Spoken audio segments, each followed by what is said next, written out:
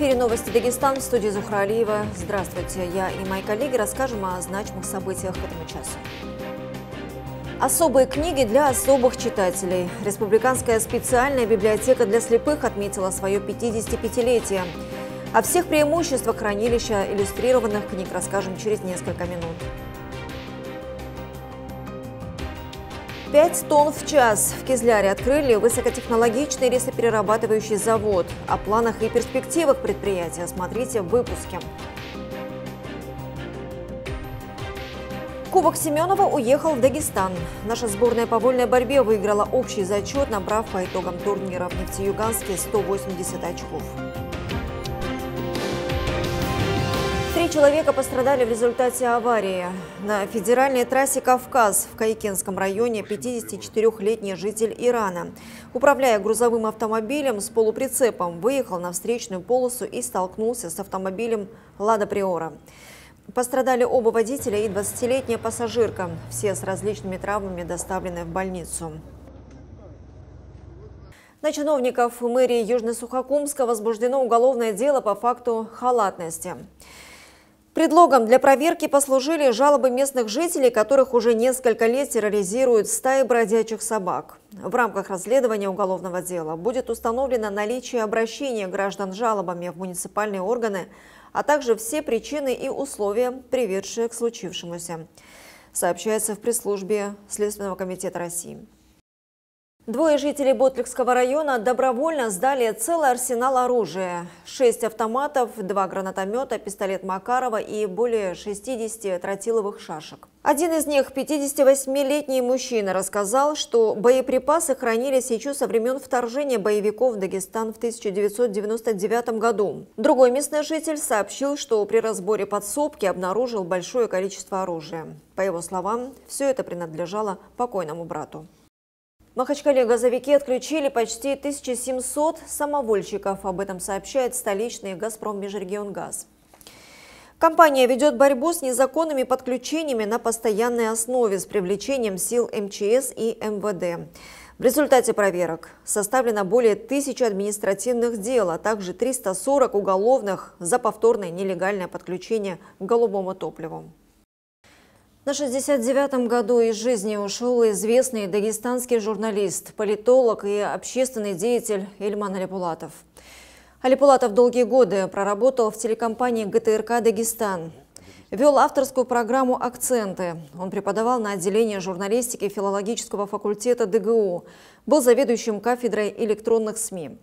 С сентября 2021 года был депутатом Народного собрания Дагестана, членом Комитета по национальной политике, вопросам общественных и религиозных объединений и межпарламентским связям. Телекомпания ННТ приносит искренние соболезнования родным и близким Ильмана Субхановича и желает им здоровья и сил. Мы видим этот мир по-разному. Пока один считает его ограниченным и серым, второй наслаждается яркими красками природы, а третий учится чувствовать и видеть, даже будучи незрячим. Таким людям помогает Республиканская библиотека для слепых, которая накануне отметила свое 55-летие.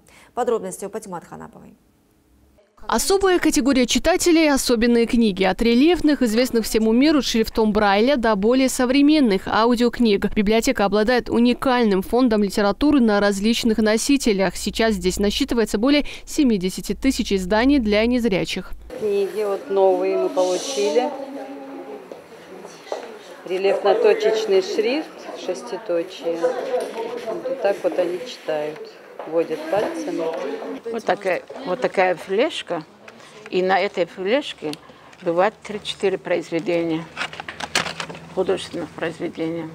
Библиотека обслуживает около полутора тысяч читателей. Сегодня это не просто хранилище специальных книг, это полноценная среда социализации, интеграции и реабилитации инвалидов по зрению. Работники учреждения регулярно проводят литературные вечера, беседы, выставки и мастер-классы. Здесь проходят даже соревнования по шашкам.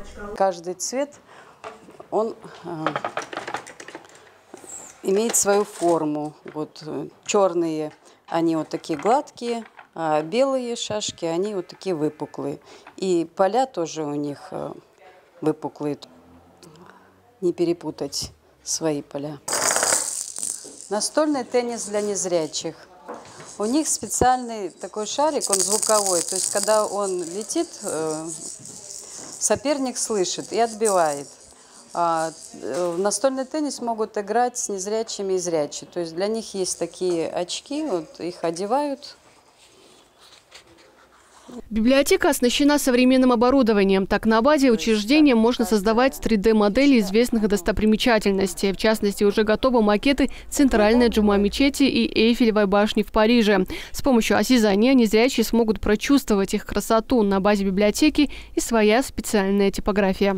Мы издаем книги рельефно-точечного шрифта. Это специальные книги для незрячих по системе Брайля. Вот. Для этого у нас э, приобретен э, брайлевский принтер, э, который с помощью специальной программы преобразовывает обычный текст и выдает уже вот такой рельефно-точечный шрифт. А также у нас в отделе мы издаем аудио книги. Это для тех, кто не владеет брайлевским шрифтом, чтобы они могли знать содержание любой книги, которая им нужна. Сотрудники специальной библиотеки верят в свою важную миссию – вести своих читателей к свету знаний, используя все современные и доступные технологии. Патимат Ханнапова, Мурат Бекбарзов, Новости ННТ, Махачкала. Высокотехнологичный рисоперерабатывающий завод открыли в Кизлярском районе. Предприятие способно пропустить до 5 тонн зерна в час. Открыли объект на базе местного сельскохозяйственного комплекса, который занят производством разных видов культур уже много лет. Я вас поздравляю с этим э, таким прекрасным днем истории вашего села Новосеребрякулка, истории вашего хозяйства о Мариновский. Это запуск такого предприятия. Сегодня мы здесь создаем прежде всего дополнительные рабочие места. Э, во-первых, во-вторых, сегодня мы здесь создаем и необходимую для бюджета нашей республики добавленную стоимость. Если, например, 3-4 года тому назад по 10 рублей рыс-сырец уходила за пределы нашей республики на переработку в Краснодарский край, и на это все наши сельхозтоваропроизводители на перевозку его туда и обратно тратили. Мы тогда сделали соответствующий анализ, более 500 миллионов рублей. Сегодня эти деньги тоже остаются у наших сельхозтоваропроизводителей здесь на месте. Поэтому мы будем дальше тоже развивать э, переработку риса. Мы дальше тоже будем создать рабочие места. Э, и это наша самая главная задача – развивать село.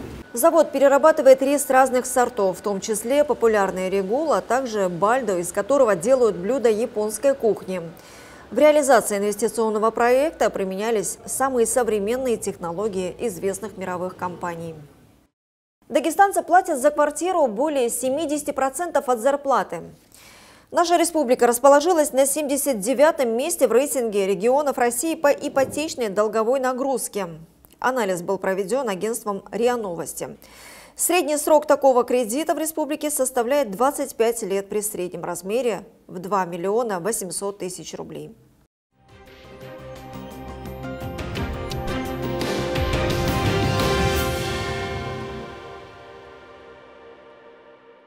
И о спорте. Дагестанские вольники стали обладателями Кубка Владимира Семенова. Турнир в минувшие выходные проходил в Нефтеюганске.